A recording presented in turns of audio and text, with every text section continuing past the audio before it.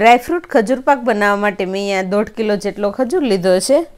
ખજૂર અહીંયા પોચો લેવાનો છે. હવે સૌથી પહેલાં આપણે ખજૂરના ઠળિયા કાઢી લઈશું. તો આ રીતે પોચો ખજૂર હોય એટલે ફટાફટ ઠળિયા પણ નીકળી જશે. તો હવે આપણે આ રીતે બધા ખજૂરમાંથી ઠળિયા કાઢી લઈશું. ઠળિયા કાઢી લીધા છે. હવે ખજૂર પાક બનાવી લઈએ. તો સૌથી પહેલાં એક પેનમાં બે ચમચી જેટલું ઘી ઉમેરીશું અને આપણે આ ઘીમાં ડ્રાયફ્રૂટને શેકી લઈશું. તો ડ્રાયફ્રૂટમાં મેં સો ગ્રામ બદામને ટુકડા કરીને લીધી છે.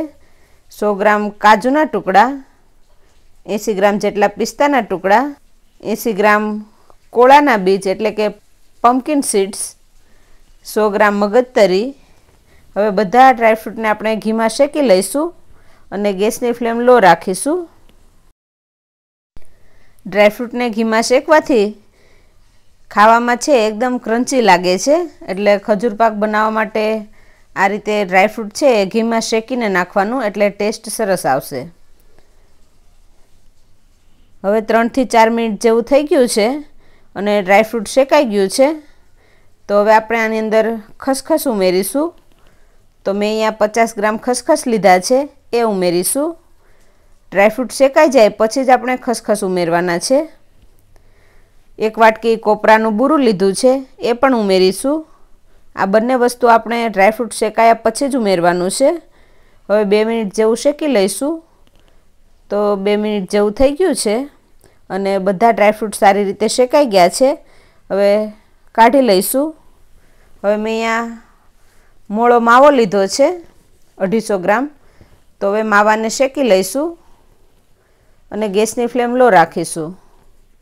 તો આ રીતે માવાને શેકવાનો છે. માવામાંથી ઘી છૂટું પડે એટલે માવો શેકાઈ ગયો હોય તો હવે કાઢી લઈશું. હવે ખજૂર પાક બનાવવા માટે એક વાસણમાં ત્રણ ચમચી જેટલું ઘી ઉમેરીશું. હવે આપણે ઠળિયા કાઢેલો જે ખજૂર છે એ ઉમેરીશું. ગેસની ફ્લેમ મીડિયમ રાખવાની છે અને ખજૂરને આ રીતે સતત હલાવવાનો છે. તો આ રીતે હલાવતા જઈશું એટલે ખજૂર છે એ શેકાઈ જશે. તો ધીમે ધીમે ખજૂર છે એ લસકેદાર થઈ ગયો છે.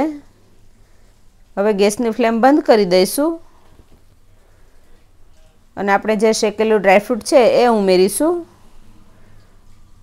આપણે માવો શેકીને રાખેલો હતો એ પણ ઉમેરીશું.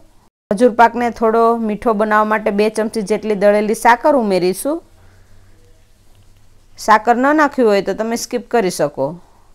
આપણે અહીંયા ડ્રાયફ્રૂટનું પ્રમાણ વધારે રાખેલું છે એટલે મેં બે ચમચી સાકરનો ઉપયોગ કર્યો છે.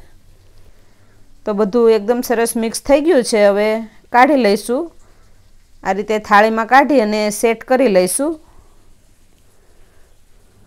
અને હવે ખજૂર પાકને આપણે રૂમ ટેમ્પરેચર પર ઠંડો પડવા દઈશું. ઠંડો પડે પછી આપણે કાપા પાડીશું. તો ખજૂર રૂમ ટેમ્પરેચર ઉપર રાખેલો હતો તો ઠંડો પડી ગયો છે. હવે આપણે એમાં કાપા પાડી લઈશું. આ રીતે થાળીને પલટાવીને પહેલાં કાઢી લઈશું. બટર પેપર રાખેલું હતું એ પણ કાઢી લઈશું. અને ખજૂર પાકને કટિંગ કરી લઈશું. તો આ રીતે કટિંગ કરી લીધો છે. તો આપણે એક પીસ કાઢીને જોઈ લઈએ. તો એકદમ સરસ ડ્રાયફ્રૂટથી ભરપૂર આપણો ખજૂર પાક છે એ બનીને તૈયાર થઈ ગયો છે. તો તમે પણ આ શિયાળામાં ડ્રાયફ્રૂટથી ભરપૂર ખજૂર પાકની રેસીપી જરૂરથી ટ્રાય કરજો.